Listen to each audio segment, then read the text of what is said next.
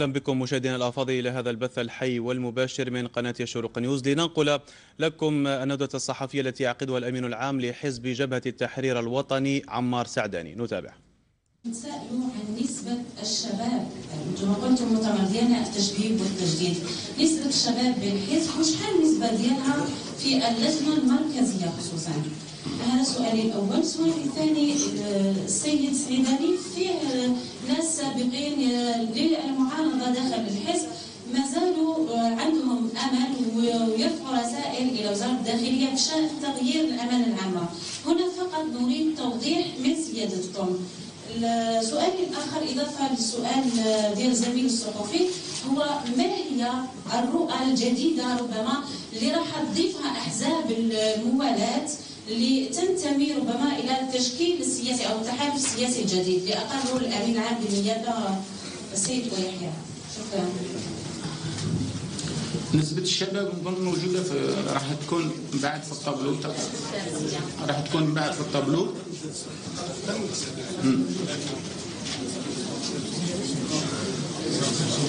اللجنه المركزية خصوصا يعني. إيه. آه، فيما يتعلق بكلام عن المعارضة ولا أعطيناكم عام وثمان شهور أنتم تتكلموا على المعارضة. مؤخرا. إيه مؤخرا. المؤتمر انعقد وصادق على قانونه الأساسي واعتمد. هذا من الناس تكلموا عليهم؟ إذا يتكلموا كمناضلين عندهم هياكل لازم يروحوا لها.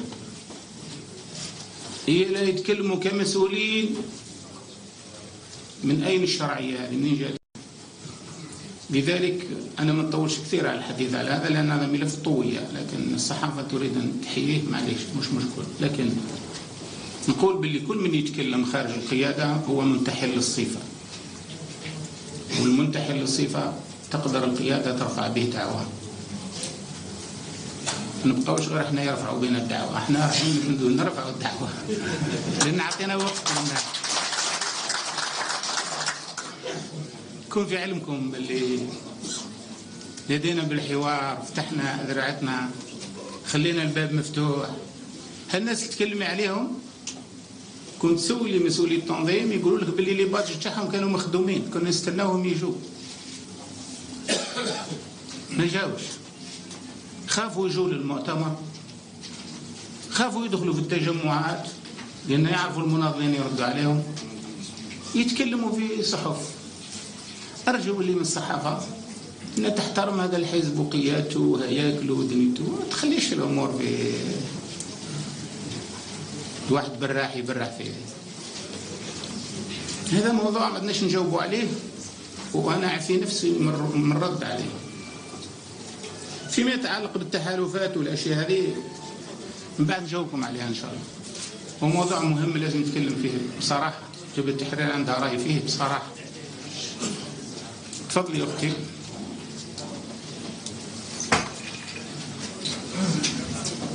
صباح الخير على الجميع فرنسا حمادي قناة خبر كابيسي استسعدني فيه سؤالين السؤال الأول مادام كنوصل نتحدث عن المؤتمر بالنسبة لتشكيلة اللجنة المركزية القائمة التي تم تلاوتها خلال المؤتمر ما كانتش القائمة كاملة. بعض وسائل الإعلام تحدثوا بلي فيه وزراء آخرون في اضرارات كبيرة في الدولة. لو كان ممكن توافينا بتفاصيل أكثر. السؤال الثاني تتم الأسئلة نتاع زملائي حول قضية التحالف الرئاسي لماذا به الأمين العام بالنيابه الاهلي رسائل كثيرة بعث بها السي أحمد في أول خرجة إعلامية ليه هو تحدث على قضية إنه لا وجود لا نية لشقيق الرئيس في قضية خلاف الاخير يعني لا توريث الان أيضا بالنسبة لمرافعتكم حول احقيه حزب جبهة التحرير الوطني في قيادة الحكومة. سي حمد يقول باللي الأغلبية ليست أغلبية رقمية. وأيضا في حديث على الوزراء اللي انضموا للجنة المركزيه لكم يقول آه، كل إنسان يشرط في رأيه ممكن بعض الوزراء يشوفوا بلي هذه الجراحه تربحهم لذلك اندمجوا لأن الأفلام رقم اساسي احببت جو تعطينا اوقات حول هذه المسائل السياسيه شكرا آه،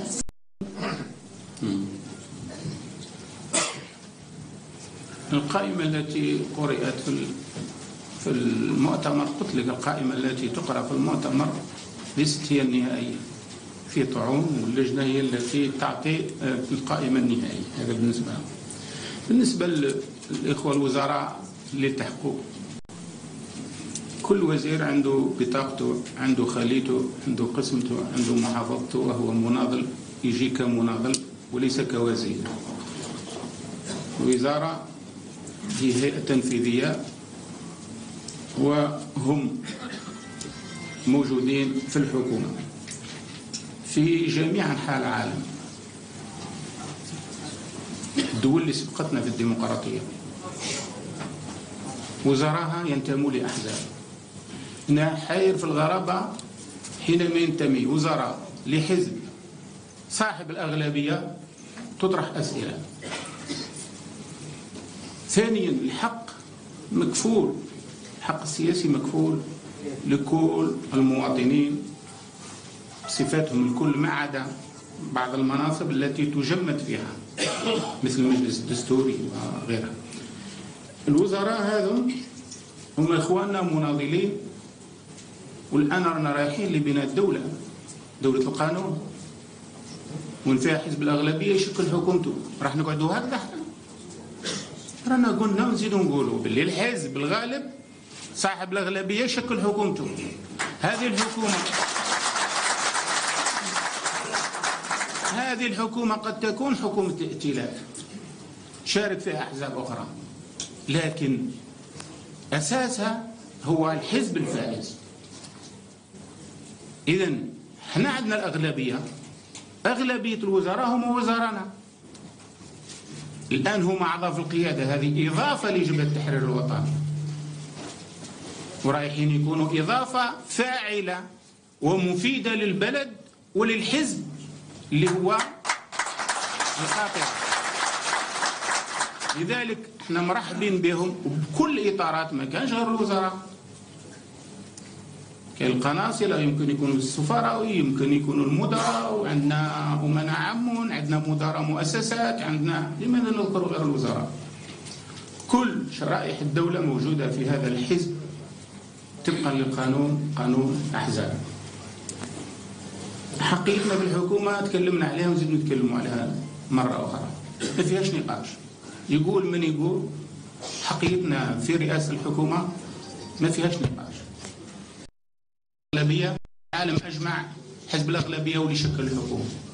إذا ما وصلناش لهذا معناها راهي الدولة ما زالت ناقصة. ودولة القانون ما زالت مش هي.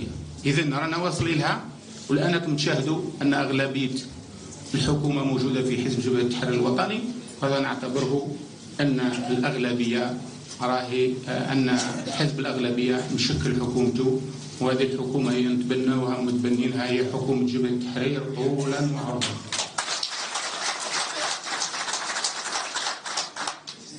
فيما يتعلق بالقضايا الأخرى الخلافة وغيرها من بعد نجاوبكم عليها. حبذ نكملوا أسئلة اللي تتعلق بالحزب وبالمؤتمر. إذا ما عندكمش في هذا الجانب نمروا للأسئلة الأخرى. تفضل أنت إذا مازال عندكم تفضل. السلام عليكم. خالد الحسين قناة السلام تي سي سعيداني بعد نجاح المؤتمر كما قلتم آه، تم انتخاب اعضاء لجنة مركزية. لكن القانون الأساسي يشترط 10 سنوات من النضال لتكون عضو. راينا سجلنا يعني مجموعة من المترشحين في قوائم سابقة في الانتخابات الأخيرة؟ هم أعضاء باللجنه المركزية ويتوقع ان يكون في المكتب السياسي يعني القانون ينص على 10 سنوات يعني من النضال السؤال الثاني هل ستجددون الثقه في المكتب السابق؟ وقلتم بالتشبيه بشعار المؤتمر هل هناك سيتضمن المكتب السياسي مجموعة من الشباب السؤال الثالث خلقت محافظات جديده في الدوائر لتقريب المناضلين ربما بالنسبة للحزب. لكن كيف ستتعاملون مع في الانتخابات المقبله مع القوائم في الاستخدامات القادمة؟ ويعني ربما لا تخلق فتنة داخل الولايات. اقصيت مجموعة أقسام المؤتمر مجموعة من القياديين ومراقبين في الحزب. هم ربما انضموا إلى اليوم نشهد خلق حزب جديد الجزائر الامين السابق في جبهة التحرير الوطني. ألا تتوقعون يعني خلق جبهة جديدة موازية ومنافسة؟ شكرا سيدي. شكرا. بالنسبة للمكتب السياسي الجديد هو حسب نتائج المؤتمر. إذا نتائج المؤتمر فيه تجديد وتشبيب قد يكون هذا الأمر وارد. وهو يخضع للمصادقة نتاع اللجنة المركزية. فيما يتعلق بالمحافظات اللي أنشأناهم من أجل تقريب الحزب من المناضل هذه المحافظات جابت نتائجها وشهدت أنها كلها شاركت 120 محافظة شاركت في المؤتمر وكان مؤتمر ناجح بفضل هذه المحافظات وخاصة المحافظات التي أنشأناها جديدة فيما يتعلق بالقوائم ما عندناش مشكل. إحنا عندنا سبع محافظات في الجزائر. لكن كي نديروا قائمة نتاع البرلمان نتاع المجلس الشعبي الوطني ولا المجلس الولائي ولا المجلس البلدي ما عندنا حتى مشكل. عندنا طرقنا في التعامل مع هذه الأشياء تعددية داخل الهياكل. ولذلك بالنسبة للسنة الجاية إن شاء الله راح يكون العمل بهذا لأن عمل الهياكل راح يكون عمل تقاربي ويكون فيه آه، فرز ويكون فيه عمل آه، سابق آه، لتهيئة الظروف. ومعروفة جبهة التحرير الوطني على أنها تياراتها ولكن في الأخير تتقارب وتخرج بنتيجة لتربح جبهة التحرير الوطني. فيما يتعلق بالإطارات السابقة ما قصينا حتى واحد إحنا كاش ما شفتوا قرار أخذها الأمين العام ل حتى اللي قصادهم لجنة التأديب رجعناه وقلنا لهم ارواحوا المؤتمر أنتم شاهدين قالوا لكم باللي إحنا مقاطعين. ودعوا للمقاطعة ظنا منهم أن المؤتمر ما ينجحش. وكانوا يحلفوا ويقولوا باللي المؤتمر لا ينعقد. بعد عشر أيام يتنحى الأمين العام. هذا مش لأن بعد الأمبيلانس تجيبوا ما هي حاجة أخرى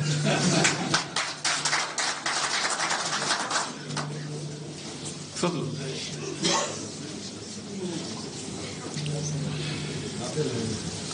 السلام عليكم أنا حاضرين جلالة الإجواء السيد الأمين عام شاف نفس سياسي بالجزائر كركا وزعت في الآونة الأخيرة ومؤخرا وليس آخر حسب المتابعين للأحداث عودة يحيى لبيت المعزية.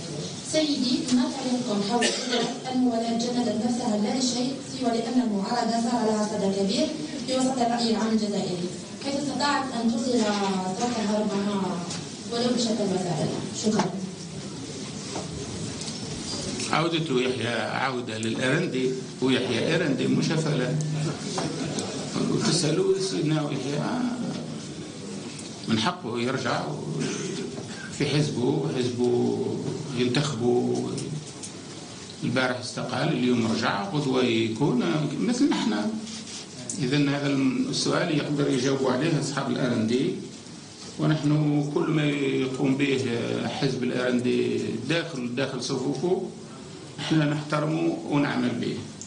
فيما يتعلق بالمعارضة وين المعارضة؟ في الصحف ولا وين؟ أين هي المعارضة؟ حبينا تكون معارضة بيكون نقاش وطني حول مسائل اللي تهم البلاد. حبينا تكون معارضة باش تقدم بدائل. حبينا تكون معارضة عندها برامج. وين المعارضة؟ معارضة رفع شعار واحد لا. بدون ما تقدم بدائل. عندكم البدائل تاع المعارضة؟ ما هي البدائل؟ نروحوا نديروا انتخابات بعد نكملوا الانتخابات يطعنوا في الانتخابات. هذه هي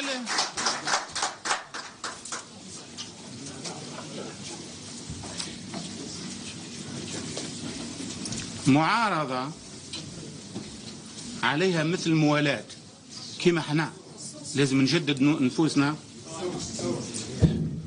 معارضة عليها واجب أن تقدم البدائل أن تقدم النصح وتستنى الانتخابات وتحترم الشرعية. هولندا ما عندوش 30% من من الشعب الفرنسي اليوم معاه. ما راحوش داروا عليه انقلاب. راهم يستناو حتى تكمل الماندا نتاعو باش باش يدخلوا في انتخابات يمكن ينجحوا ولا ما ينجحوش. أردوغان عنده 40% 60% ضده راهم معترفين به وعاطينه يشكل حكومته. أوباما ما عندوش ما عندوش الشعبية الكافية ومع ذلك راهم يستناو حتى تجي الانتخابات باش يجي الحزب الجمهوري يتقدم باش ربما ينجح. إحنا نروح ونديروا انتخابات ويخرج رئيس ب 80% ومن بعد يقولوا هذه لا نعاودوا نلعبوا إحنا مش نلعبوا في البوكر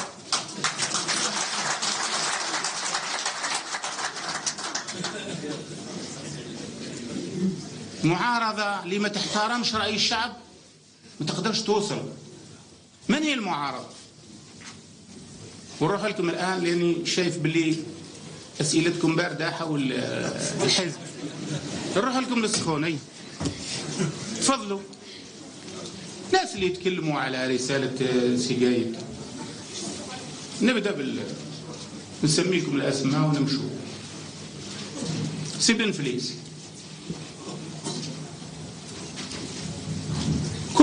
كنت نعتقد أنا شخصيا كأمين عام أن آخر شخص يقول كلمة على جبهة التحرير ويبخل جبهة التحرير في رسالة تهنئة هو علي بن فليس أمين عام للحزب. طلع على ظهر الحزب. أدى المسؤولية باسم الحزب. يبخل جبهة التحرير في تهنئة.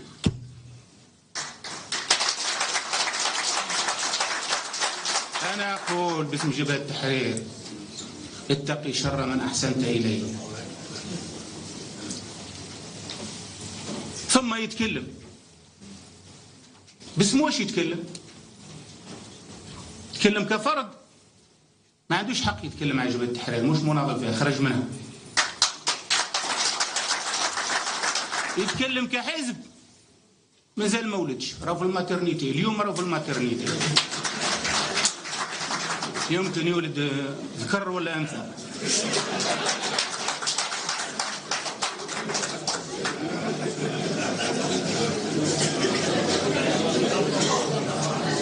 اذا هذا الحزب حتى يكونوا باسم حزب. لازم يحبوا ولازم يوقف ولازم يتكلم باش يقدر يقول كلمة في جبهة التحرير.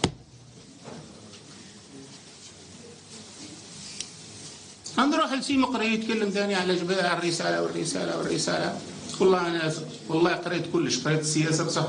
مزيت ما قريتش سياسة مقري هو في اليسار هو مع اليمين هو مع الشيوعيين هو مع التروسكيين هو مع الديمقراطيين هو مع الوسطيين هو راحت له البوصلة.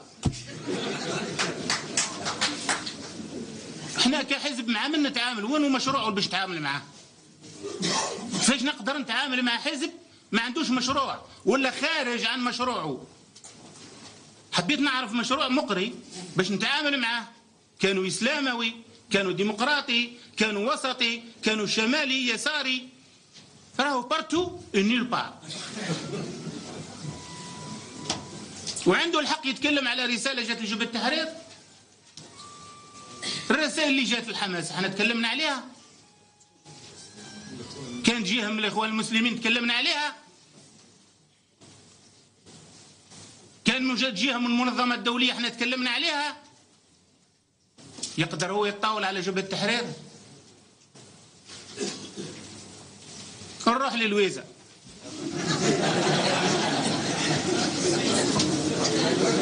وأنا مش رايح ليهم هم اللي جاوا لينا.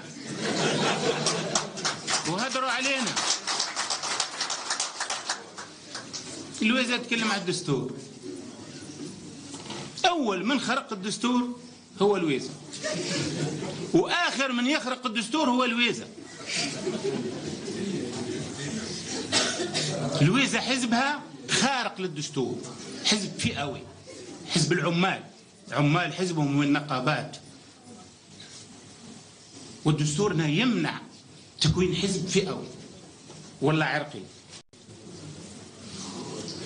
باش تحترم الدستور عليها تروح تصحح تسمية حزبها الأولى. الحاجة الثانية الويزة تكلم على استقلالية المؤسسة العسكرية. من اللي راح السيد صالح ودار مع اجتماع وخرج دار لكم ندوة صحفية؟ مش هي؟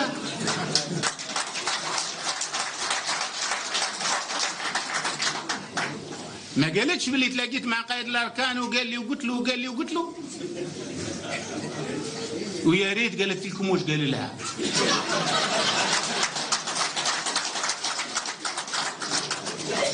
واش قال لها؟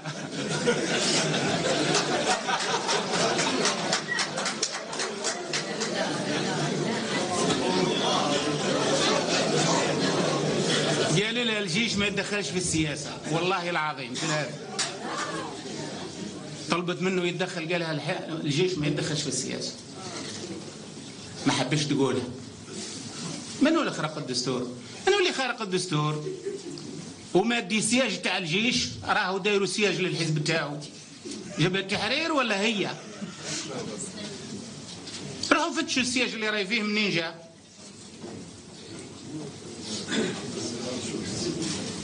الويزة أعطت الروح أكثر مما يعطيها القانون.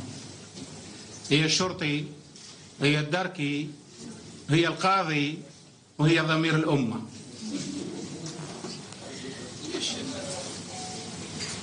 نهار اللي تبسمل نعطوها تكون ضمير الأمة.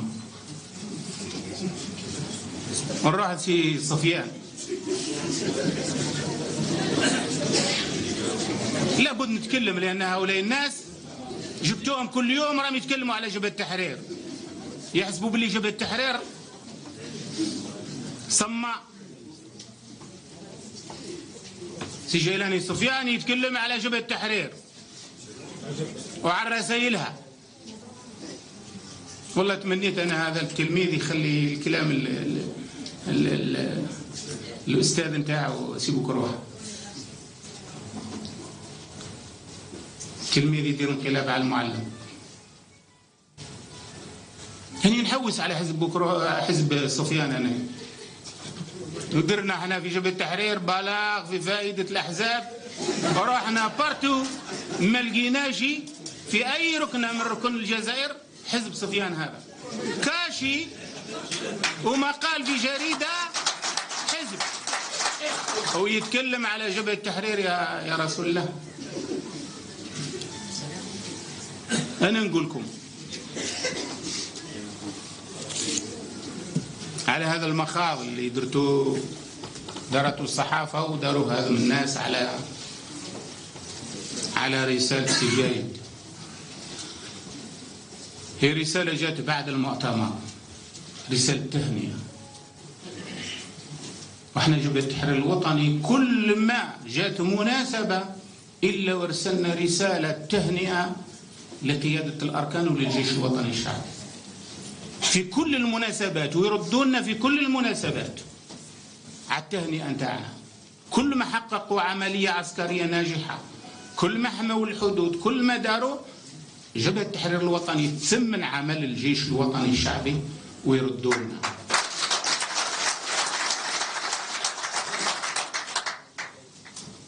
وهي رسالة ما راهيش خرق للدستور كما يزعم.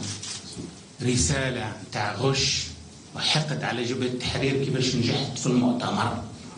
داروها قشة لصقوا فيها الغارقين غارقين هذه الرسالة سي أحمد قايد صالح مشكور عليها. ما فيها حتى شيء. لا دعمت القيادة ولا دخلت الانتخاب. ولا حضر الجيش في القبة في الاجتماع المؤتمر. وبكري منين كانوا هما اللي يحضروا المؤتمر. على ما قلتوا شي تدخل على ما قلتوا شي كما يقولوا استقلالية المؤسسة. ولما كان المؤتمر مؤتمر المناضلين. وما فيش جهة دخلت فيه. حبي حبوا يخلقوا مشكلة باش يلصقوا فيها. ثم نذكركم أنتم الصحافة. من هو اللي نادى بتدخل الجيش باش يدين انقلاب على الرئيس؟ إحنا ولا هما؟ من هو اللي طلب بالتدخل الجيش باش يطبق المادة 88 انقلاب على رئيس الجمهورية؟ هما ولا إحنا قبل ثلاث شهور وش كانوا يقولوا؟ ما طلبوش. سي بن فليس وسي جيلاني سفيان وحماس. ما طلبوش من الجيش يتدخل؟ وجاوبت أنا حماس قلت لهم باللي كذا ترفضوا الانقلاب في مصر وتقبلوه في الجزائر. هما اللي طالبوا بتدخل الجيش.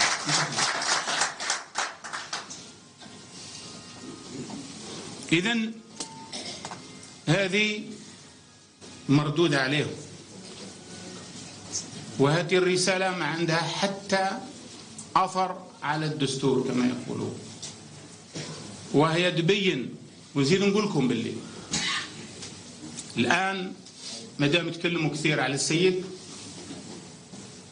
كانوا هذا من الناس قبل هذا الوقت ما يقدروش يذكروا اسم أي شخص في المؤسسة العسكرية. اليوم الحمد لله كان ديمقراطية ولكن هذه الديمقراطية لازم تكون واضحة للشعب الجزائري. من نهار اللي جاء قايد صالح وهذه نقولها وأنا مسؤول على الكلام تاعي. ما وقعش خرق القانون والدستور واحترمت كل المؤسسات المنتخبة. وحبست صناعة الرؤساء في الجزائر. الرئيس يصنع الشعب. وسيقايد لما كان الرئيس مريض في فالديغراس كان هو المسؤول الأول على الجيش. وكانت الناس تدعي هنايا باش تنقلب على الشرعية. وهو اللي رفض الانقلاب على الشرعية وبقى مع احترام الدستور.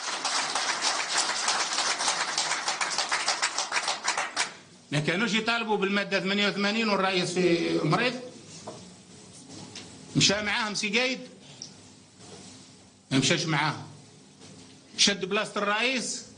رشح روحه؟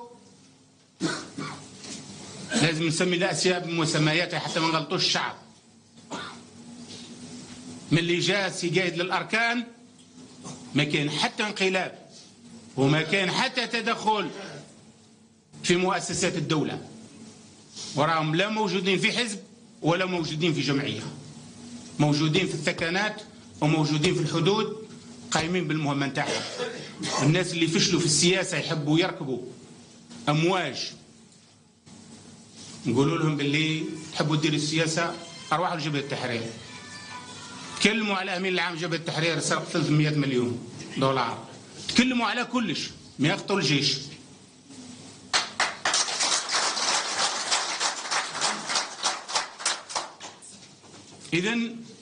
إذا لكم هذه حجة واهية.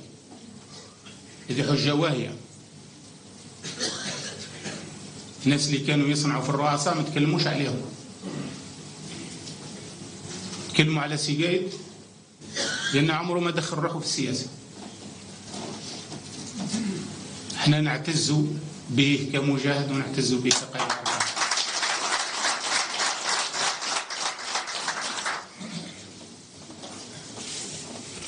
فيما يتعلق بتحالف إذا حبيتوا نزيدكم نزيدكم مع الناس هذا.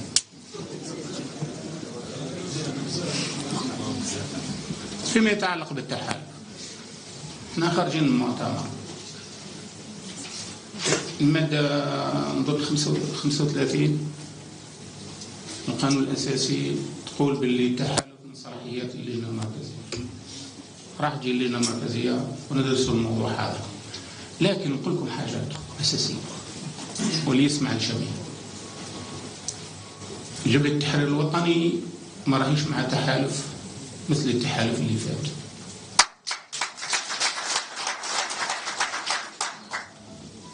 هذا التحالف نقول لكم بصراحة كانوا يسموه تحلف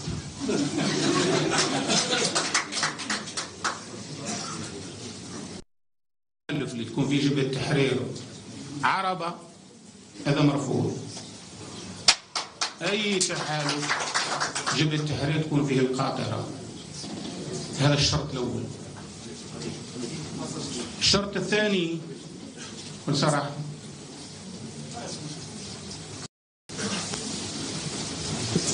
التحالف المفهوم السياسي في رأيي يكون حول تشكيل حكومة.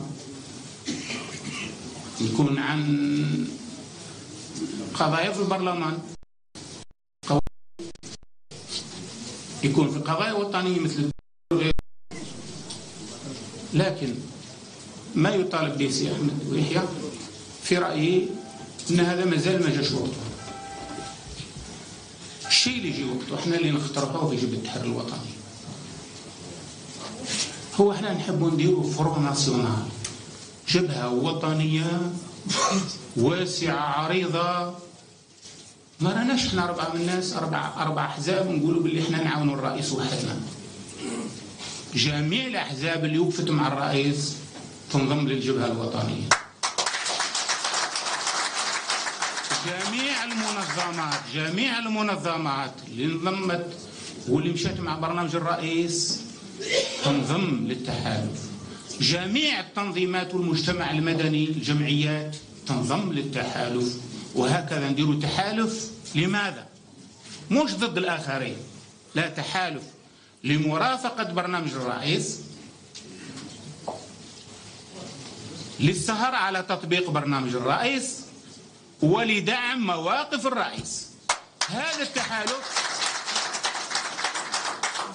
يكون فيه جبهة التحرير ويكون فيه ليراندي وتكون فيه الأحزاب اللي معانا. لكن التحالف بالمفهوم القديم إحنا ماناش موافقين عليه. إذا وإحنا راح تبقى اذاننا مستمعة لإخواننا في الإيراندي وهم مشكورين على هذه هذا المقترح. ورايحين نتلاقاو معهم إن شاء الله مع سي أحمد والاخوان اعضاء المكتب السياسي واعضاء المكتب الوطني بتاعهم.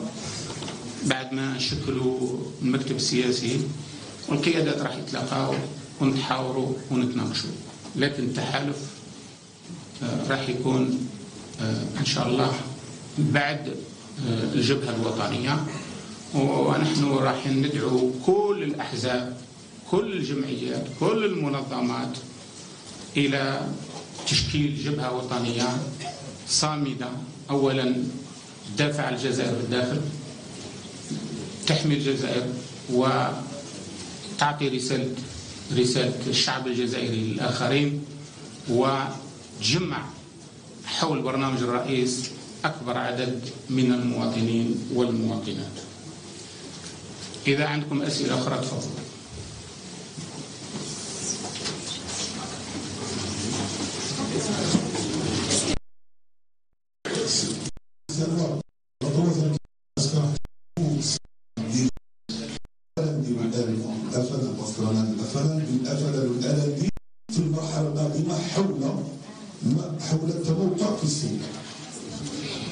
موقع السلطة. كان قيادة قوية مادية الأغلبية هي لوكوموتيف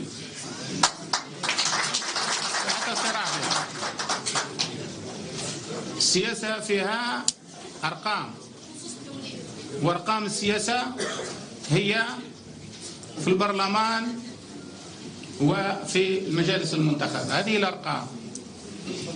اللي عنده ألف اللي عنده 900 يجي بعد الألف. عنده 800 يجي بعد 900 وهي رايحة. اذا ما فيش تصادم ونكون متفاهمين وسي يحيى يعرف السياسة و وراح نتفاهموا حول هذه المواضيع الكل إن شاء الله. تفضلي أختي. الشطر الثاني سؤال الشطر الثاني سؤال لا تتم الإجابة عليه. ها؟ الشطر الثاني من السؤال.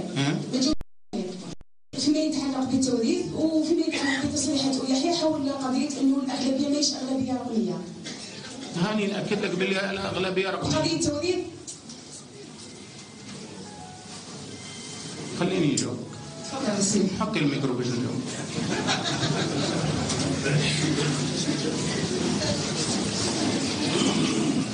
درك الانسان يخلق كذبة لازم الناس يجاوبوا عليها ولا؟ وين شفتوا التوريث وين؟ إحنا ما نتكلمش على حاجة مش موجودة. ما نجاوبوش على أسئلة افتراضية؟ كي نشوف الانتخابات الجاية إن شاء الله تكلم. الانتخابات نحثوا فيكم قلنا لكم الرئيس راه باقي. ومن يظن الرئيس راح راه غالط. أو غير شعب يروحوا.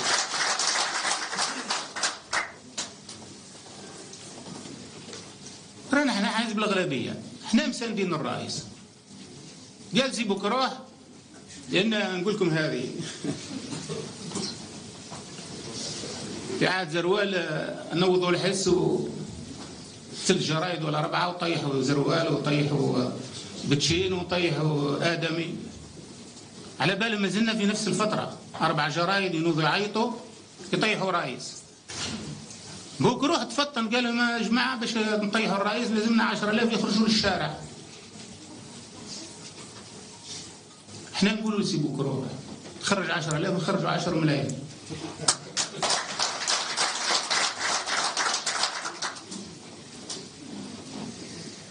إذا لازمنا لازمنا صحافة مهنية مش تجارية. صحافة مرآة صافية ترفلاتي لا رياليتي ما راهيش صحافة تشارك في انقلابات. تشارك في الزعزعة تاع البلاد. علاش الهجوم على السيجاره رسالة تهنئة.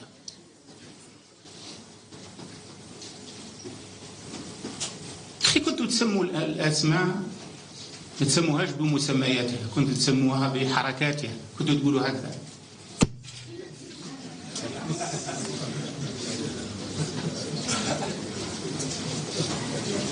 اليوم وليتوا تطاولوا على رجل مجاهد. إذا نقول باللي ما بقاش هذيك سياسة الصحافة نتاع تكتب نخلصك. أنتم صحفيين ما كمش مدراء. أنا راني جاوب في المدراء.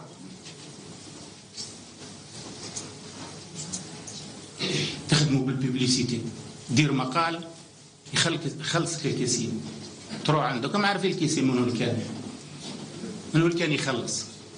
تعرفوا اليوم ما بقاش كيسين. كل journal ي refléter la réalité يقول الحقيقة ويربح ويكسب بعرق صحفيين. ما راهوش تكتب. باش توسخ واحد ولا تكتب باش تزعزع نظام باش يعطوك الببليسيتي خلاص صحافة الفوازير راحت. لابد من التمهين كما إحنا أحزاب. إحنا أحزاب كنا نصفقوا فقط. قلنا راح التصفيق. توم عندكم في الصحافة وسي راحت صحافة الببليسيتي لازم تكون صحافة مهنية. تاع التمهين لازم يتمهن. إذن الصحافة اللي تدير الانقلابات وتدير الزعزعة فقط انتهت هذه انتهت. عهد الترانزيتوار راح. مناش فايقين لحد الآن.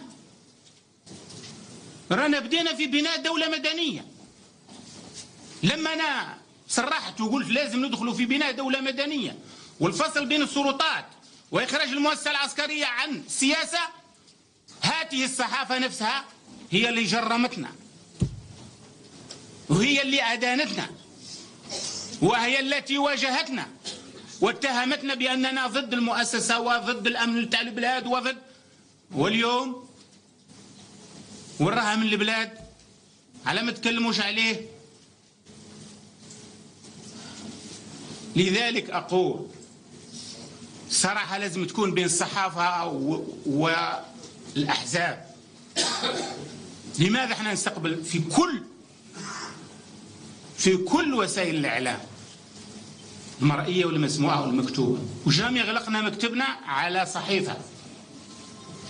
يسبونا ونعيطوا لهم. يسبونا ويجونا ونتكلموا معاهم. لأن هدفنا هو بناء دولة. يحترم فيها الصحفي ما يقعدش يمشي على رجليه صباط وحافي. يحترم فيها السياسي ما يقدرش يديها أغلبية ويلزم يصفق. يحترم فيها العسكري يكون في مهامه ويترقى طبقا لخدمته. يحترم فيها الوزير يكون وزير ويحكم قيادته ما كانش واحد يعز فيه. راه مسؤول. ما تديرلوش من يعسه ما دير... إلا باش دير له من يعسه نحيلوا عليه المسؤولية. قلنا الكلام هذا من أجل بناء دولة وطنية مدنية. كيما بناو الناس دولهم.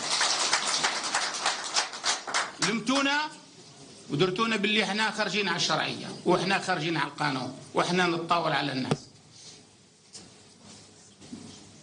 أول مؤتمر يندار في جبهة التحرير الوطني شفتوا شي واحد لابس الزي العسكري؟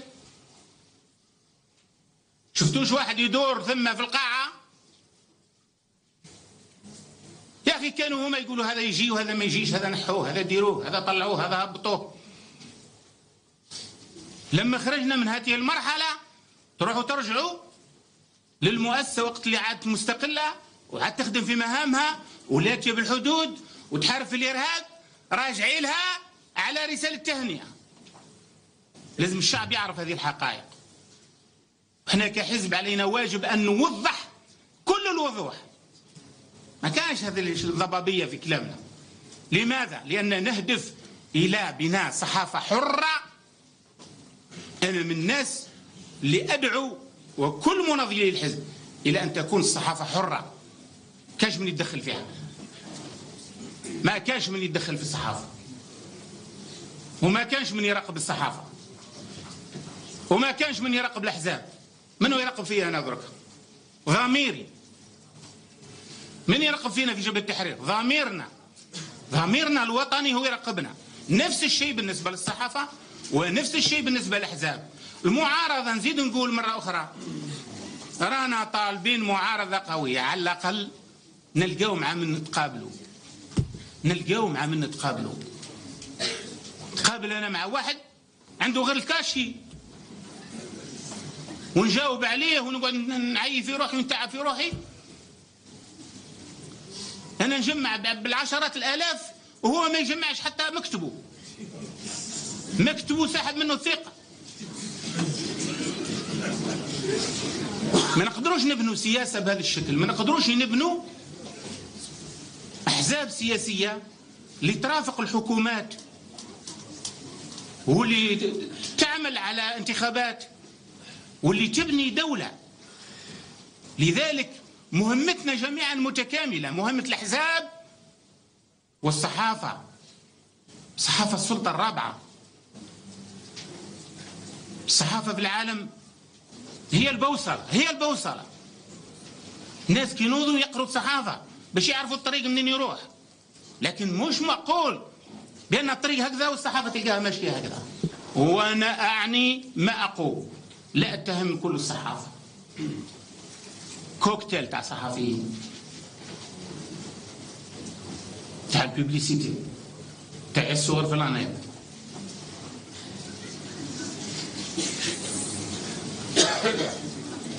أما الباقي والحمد لله اليوم. ما عجبتنيش الوطن نلقى الخبر. ما عجبتنيش الخبر نلقى الشروق. ما عجبتنيش الخروق الشروق نلقى الحوار. ما عجبتنيش الحوار نلقى المساء. وأنا ماشي. اذا هذه هي الديمقراطية. هنا في الديمقراطية. ديمقراطيه كبيرة. ممكن الصحفيين الشباب ما يعرفوهاش. ما يعرفوش. إحنا ماناش حابين صحافة. يكون ال rédacteur تاع شاف واحد. أربعة ولا خمس جرايد ال rédacteur تاع الشاف واحد. كي تنوض الصباح تقرا باللي قايد صالح الفوق وزوج سعداني منا الأخرى كيف كيف قايد صالح منا والأخرى كيف كيف. صار ما عرفوش يديروا مقالات هاك وهاك لأن ال rédacteur chef واحد. ما همش ربعة. وي واش قلتوا نجاوبوكم؟ هدرتوا نجاوبوكم. انه هدرتوا نجاوبوكم. كلمتونا؟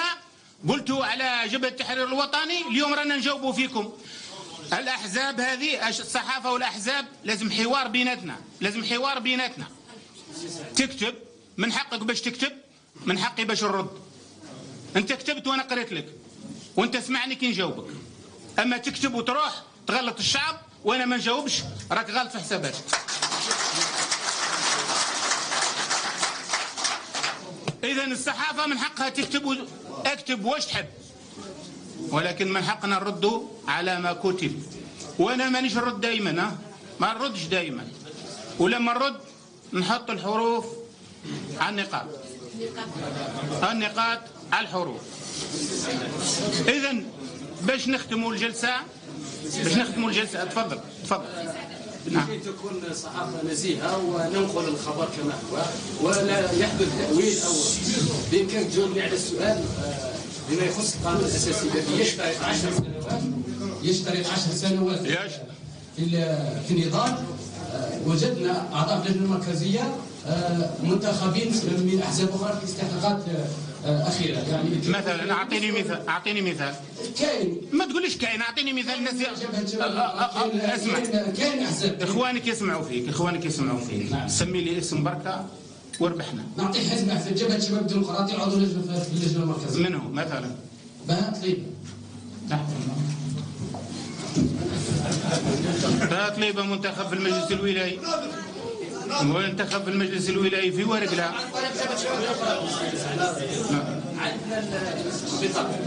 اسمعني مليح.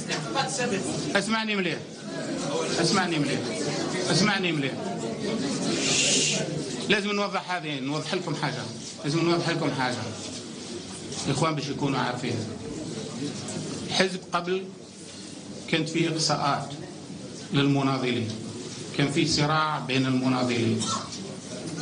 وكانت القاعدة مهلهلة. والناس تفركتت في الحزب. ومن بعد في الانتخابات وقع مشاكل داخل الحزب. فيه ناس عندهم أغلبية في ولاياتهم وفي بلدياتهم. وأقسوا لأن قدموا عليهم ناس ما مش مناضلين. وداروا في بلايصهم ناس ما راه عندهم ما ينجحوش وما نجحوش. وراحوا هما وداروا قوائم ونجحوا. وثبتوا باللي هما ناجحين. وبالتالي باللي هؤلاء كلهم أرجع لهم توجد باللي مناضلين أكثر من عشر سنوات. ومناضلين في قواعدهم. والآن جبهة التحرير الوطني رأي تنادي بلم الشمل. هذا هو يسموه لم الشمل. جمع الشمل. تفضلي أختي تفضلي. نعم نعم. شكرا سيد الامين العام مرة ثانية. سؤالي هو متعلق على ضوء ذكركم لإنشاء أو لتشكيل جبهة وطنية تحمي الجزائر. وفي المقابل الآن أيضا طالب بالتحالف بمساندة برنامج رئيس الجمهوريه نتكلموا على قضية التعديل الدستور أو الافراج عن الدستور اللي ما تكلمتناش عليه اليوم. هل من مبادرات من طرفكم ربما للافراج عن هذا الموضوع أو الدستور؟ آه، السيد السعيداني أم سيظل حبيس الأدراج في ظل انتظار المعارضة أو في هذا الشأن نريد توضيح شكرا طالبنا هو الإفراج على الدستور طالبنا إحنا طالبين معكم إفراج على الدستور. دستور من صلاحيات رئيس الجمهورية. إحنا عندنا مطلب فقط نطلبوه. أنتم وإحنا رانا نطلبه باللي يفرج عن الدستور. لكن أنا رأيي كسياسي إن باش يفرج على الدستور لابد من تهيئة أرضية سياسية تكون على مستوى الوطني تجعل هذا الدستور يمر بسلام لأن هذا الدستور يهم الجزائريين والجزائريات ما يهمش الأحزاب فقط. هذا الدستور هو يبني لدولة الجزائريين والجزائريات. هذا الدستور هو وثيقة هو قانون القوانين في الجزائر. ما يمكنش يمر بهذا التشنج وهذه العصبية وهذا الاختلاف وهذا عدم الرؤية الواضحة. الشعب اليوم مش عارف منه اللي عنده الحق ولا ما عندوش الحق. وش قلنا إحنا؟ نادينا جميع الأحزاب. وقلنا باللي الطبقة السياسية أرواحهم اتفقوا عن هذه الوثيقة. رئيس الجمهورية أعطى الإذن والضوء الأخضر بأن نتفق حول هذه الوثيقة ونقدم اقتراحاتنا لرئيس الجمهورية اللي راح يتبناها. لكن للأسف أنتم تشاهدوا المعارضة؟ قاطعت الدستور. ونحن ننتظر بأن مجموعة ولو مجموعة من هذه المعارضة تعاود تشارك معنا في هذا الدستور في اقتراحات هذا الدستور ولو تعطي ذلك ولو المشاركة نتاعها تكون عن طريق اقتراحات شفهية أو مكتوبة أو أنها عن شكل ندوات وغيرها. فلذلك أنا أدعو من خلالكم مرة أخرى جميع الأحزاب بأن نأخذ هذا الجانب بعين الاعتبار حتى نفرج عن هذا الدستور الذي سيؤسس إن شاء الله لبناء دولة تكون لصالح كل الجزائريين والجزائريات. والسلام عليكم والجلسة مرفوعة